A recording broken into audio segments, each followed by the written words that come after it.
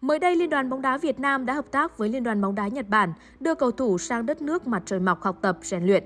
Đáng chú ý, câu lạc bộ Yokohama FC đã giao cho Công Phượng nhiệm vụ giới thiệu, hướng dẫn, chia sẻ với các cầu thủ U18 Việt Nam trong những ngày tới. Ở bài đăng mới nhất, câu lạc bộ này chia sẻ, là một phần trong dự án do Gilich thực hiện.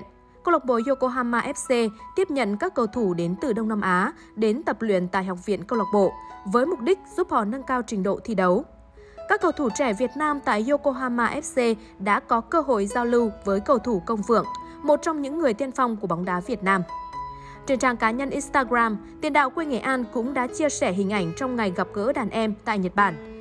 Với sự hướng dẫn và chỉ bảo của Trần Sút sinh năm 1995, các cầu thủ U18 Việt Nam chắc chắn sẽ dễ dàng hòa nhập hơn và có thêm hành trang để trưởng thành trong tương lai.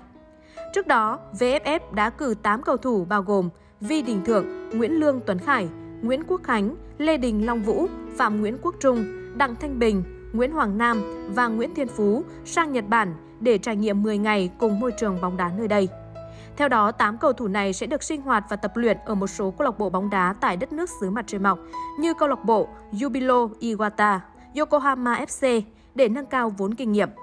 Bên phía Nhật Bản sẽ phân bổ các cầu thủ về các câu lạc bộ phù hợp sau khi cân nhắc dựa trên danh sách đề xuất từ VFF. Ví dụ như nhóm cầu thủ Đình Thượng, Tuấn Khải và Quốc Khánh sẽ sinh hoạt ở Jubilo Iwata từ ngày 24 tháng 10 đến ngày 2 tháng 11.